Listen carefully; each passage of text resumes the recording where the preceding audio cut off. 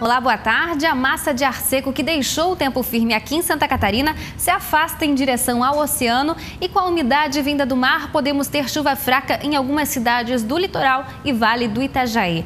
Mas a quinta-feira terá sol com aumento de nuvens em boa parte do estado e as temperaturas permanecem elevadas. Máxima de 32 graus no sul, no Vale do Itajaí e no norte catarinense. E amanhã o tempo permanece assim. O sol aparece na maioria das regiões em boa parte do dia, com mais nuvens nas áreas próximas do litoral. E pode chover fraco em algumas cidades, mais no início da manhã e na parte da noite.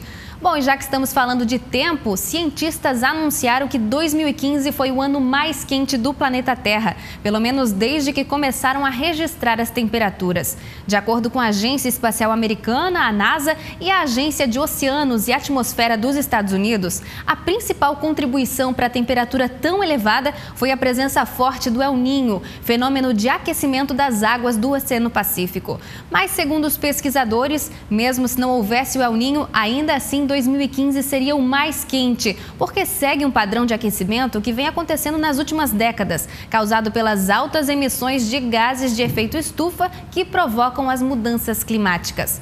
Bom, já que não temos para onde fugir, vamos fazer a nossa parte e cuidar mais do nosso planeta?